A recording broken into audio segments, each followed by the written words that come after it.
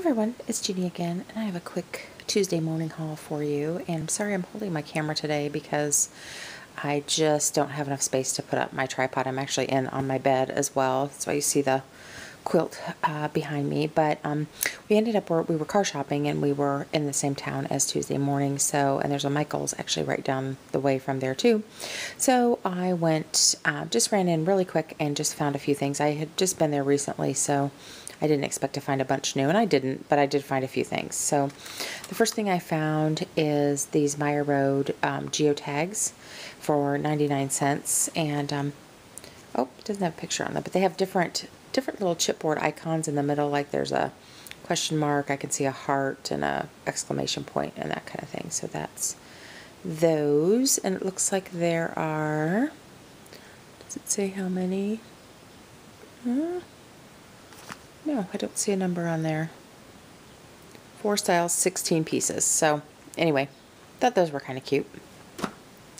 Then I did find the Cute Girl little hearts. Little, These feel like they're metal. They're pretty substantial. And those were $1.49. Crate Paper Cute Girl. And then I did find one of the Memento dies in the hearts. This, These will emboss and cut the hearts so a couple of different options there, two different sizes. Um, I did find, this was actually one of the Darice um, embossing folders that I was hoping to find, and it is the hearts. Let's see if I can get that to focus. There we go.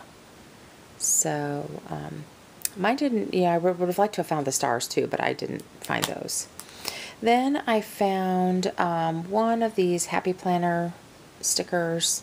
This is really, I think it's all about like menus and food and stuff like that. So anyway, I was hoping to find the other one with the air, all the different rainbow colored like arrows and icons and stuff, but mine didn't have that one. Then I did pretty good on thickers this time. I found these really pretty ones. And I got two of each um, of the ones that um, were kind of unusual. These ones are called Sunshine and um, they're chipboard in these pastel kind of outlined colors. So I got two of those. And then I only found one of these. Um, these are the...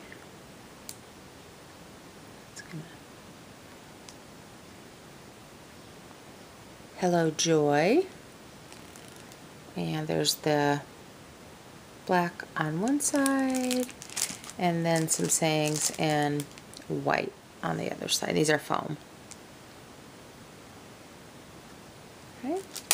And then I found these ones called Magic.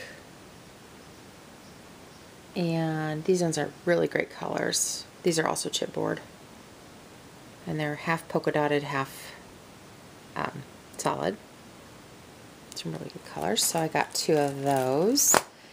And then I got only got one of these. These are the foam thickers in kind of a lime green called Fantastic. And these are a really small size. I think I have these in other colors.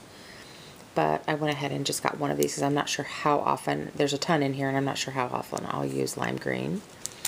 And then probably should have gotten two of these. These are the um, ones called Stylish.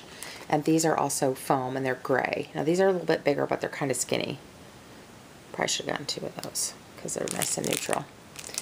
And then at Michael's, I just went ahead, what because the 110 pound cardstock was on sale, I went ahead for $10. I went ahead and just got a thing of white because I'm almost out of my, I think it's Papertrey ink, the other heavyweight cardstock that I have. So, but then I was thinking about it after I got, I bought this and I thought, you know, you're really, since these are $14.99 um, regular price, you're better off using a 50% off coupon than buying them when they're on sale for $10. But, um, but anyway, so, but I think I'm going to try to start collecting this heavyweight cardstock since I've been making a lot of cards lately. So um, each time they go on sale or I have a coupon that I don't need to use anything else on, I'll probably just get some of the multi-packs and maybe the black one as well. So, all right, well, I hope you guys are having a great day, and I will be back with my um, the result of my 12 by 12 paper pad project probably um, probably next weekend. So, anyway, I hope you guys are having a great weekend, and I'll talk to you soon.